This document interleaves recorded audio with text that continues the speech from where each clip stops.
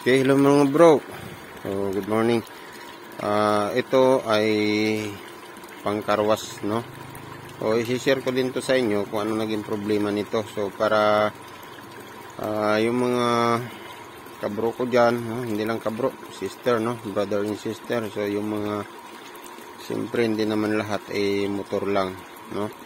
Lahat, yung iba na may mga motor, may mga sasakyan, ay meron din silang pangkarwas. So, hindi na kailangan magpaayos pa kung saan saan. So, pagka nag-difference yung karwas nyo, panoorin lang nyo itong video ko. Okay? So, bago lahat, subscribe muna yung aking YouTube channel, no? Paki-share na rin, paki-like, at paki-pindot yung notification bell para sa mga uh, iba pang updated na video ko. Okay mga bro, so ito isi-share ko sa inyo ang isang problema nito kung paano ang pag-ayos no? Dahil tagas yung tubig okay? At mahina ang pressure at mayroong kasamang hangin. Okay mga bro? Okay sarado muna natin yung ating water source ano? So ayan yung kombinasyon ko ng water source dito sa bahay ko. Ayan. so sarado muna natin to dahil puno na, puno na ng tubig. Ayan okay. Okay so ngayon mga bro try natin yung start no kasi papakita ko sa inyo yung naging diferensya ng aking power spray no? Yung power pump. Okay start natin.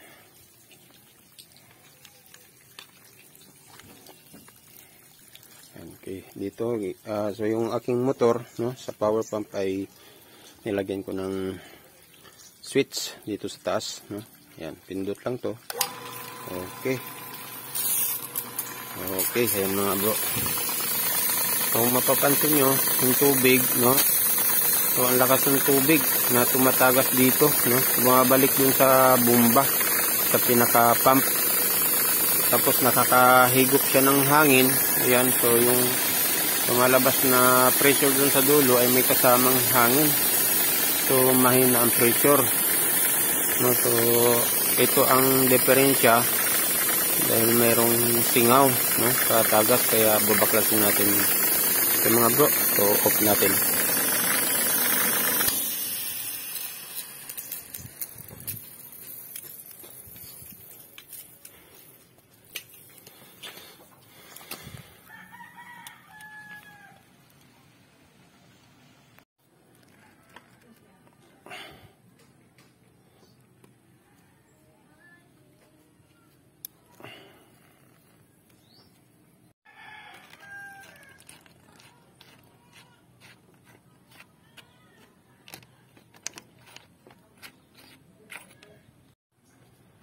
Ito lang dalawang bolt yung babaklasin natin. At pagkatapos mayroong bolt dito sa ilalim. Dalawang peraso din. Ayan sa ilalim. Ito. Okay saka dito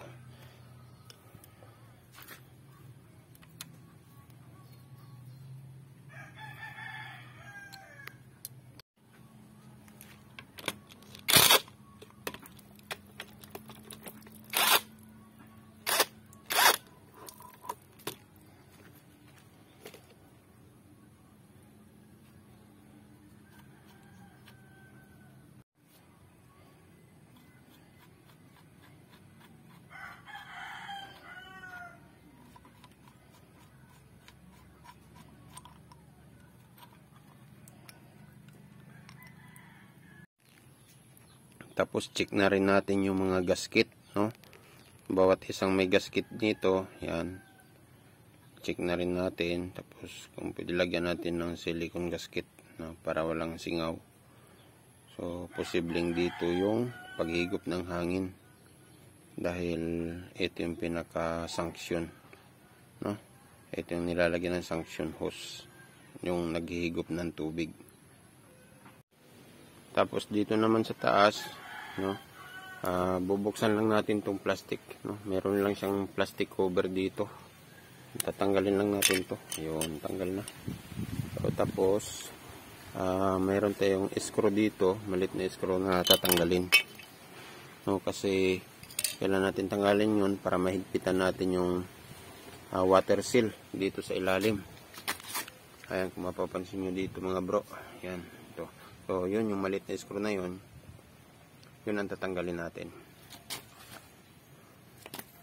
Yan. Okay?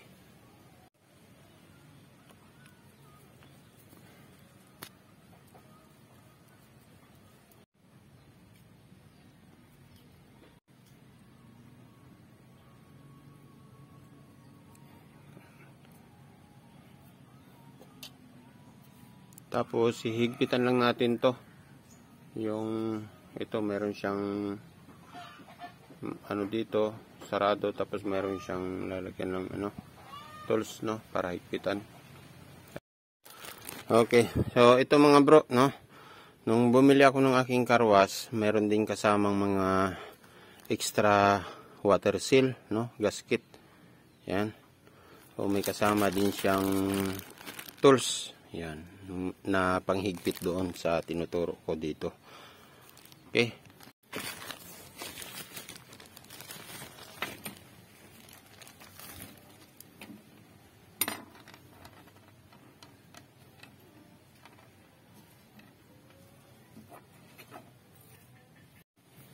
Okay, higpitan lang natin to mga bro. Yan. Yun, okay. So, ito yung tools niya. Yan, higpitan lang natin to. Yun, okay. Very simple lang. Very good. Okay. So, yung iba naman ay wala pang tagas pero siyempre mas maganda higpitan ng kaunti. Okay, mga bro. Ayos.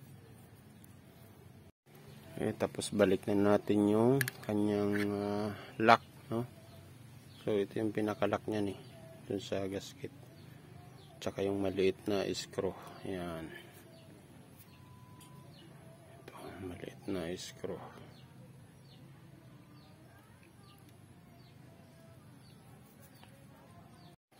Yung mga bro tapos nilinis na rin natin itong mga float valve nya yan yung tatlong float, valve so salpak na natin.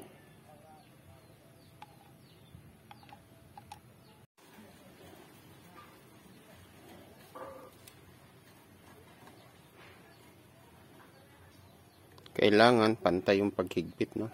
Kasi malambot lang to eh. Kaya dapat pantay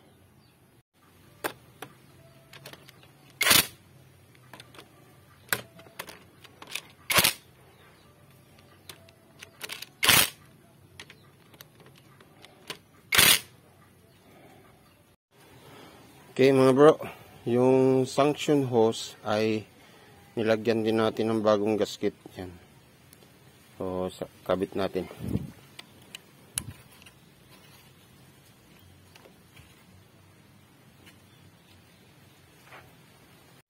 Kabit na rin natin yung uh, hose ng power spray. Ayan.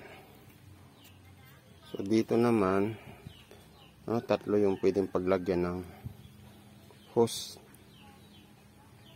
para sa sprayer.